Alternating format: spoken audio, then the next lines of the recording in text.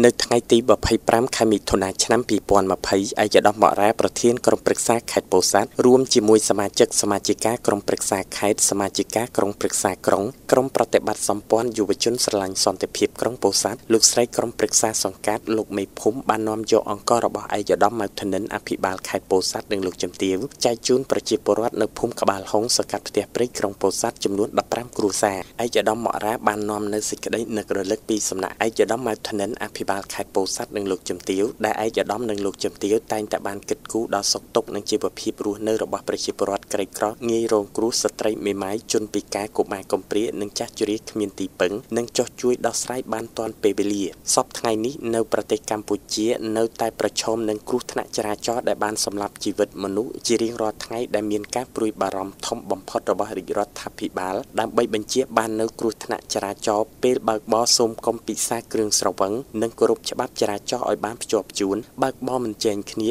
និងមានការយោគយល់អព្យាស្រ័យគ្នាពេលបើកបរត្រូវពាក់មួកសុវត្ថិភាពថ្ងៃនេះថ្ងៃស្អែកកុំឲ្យមានគ្រោះថ្នាក់ចរាចរណ៍ លោកបានមានប្រសាសន៍ថាសពថ្ងៃនេះមេរោគ COVID-19 បានរីករាលត្បាតពីពេញពិភពលោកបានសម្លាប់ជីវិតមនុស្សរាប់ម៉ឺននាក់នៅក្នុងប្រទេសកម្ពុជាមានអ្នកចម្លងមេរោគ COVID-19 ចំនួន130នាក់បានព្យាបាលជាសះស្បើយ